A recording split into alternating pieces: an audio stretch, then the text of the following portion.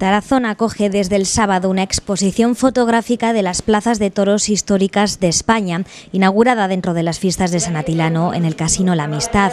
La muestra está organizada por la asociación del mismo nombre, integrada por varias ciudades que cuentan con plazas anteriores al siglo XIX. La exposición ambulante consta de imágenes tomadas por un fotógrafo alemán aficionado al mundo taurino. En ellas aparecen las plazas históricas de Almadén en Ciudad Real, Aranjuez en Madrid, Béjar de Salamanca, Campofrío de Huelva, Santa Cruz de Mudela en Ciudad Real y la propia Tarazona. Se trata de las seis ciudades que en el año 2000 crearon la Unión de Plazas de Toros Históricas de España, aunque en la actualidad se han unido más cosos a la asociación.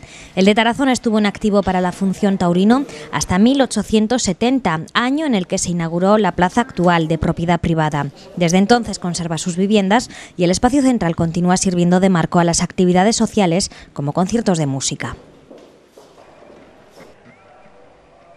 El sábado al mediodía se inauguraba también la exposición de fotografías taurinas de Carlos Moncín, jefe de la sección fotográfica de Heraldo de Aragón.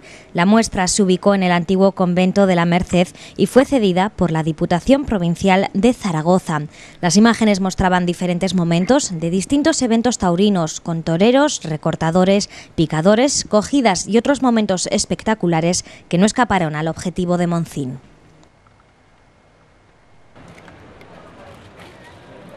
Por último, ayer llegó el turno de una exposición de fotopoesía en el Paseo de la Ciudad.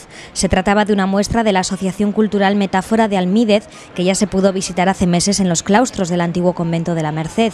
La exposición une las fotografías de Gregorio Hueso y los poemas de Milagros Morales, inspirados en cada una de esas imágenes. Se trataba de 30 fotografías con sus 30 poemas correspondientes que se montaron en la muestra como un doble cuadro pareado. Las imágenes son abstracciones de fachadas de de la ciudad o de otros pueblos de la comarca, una metáfora del paso del tiempo y de la vida.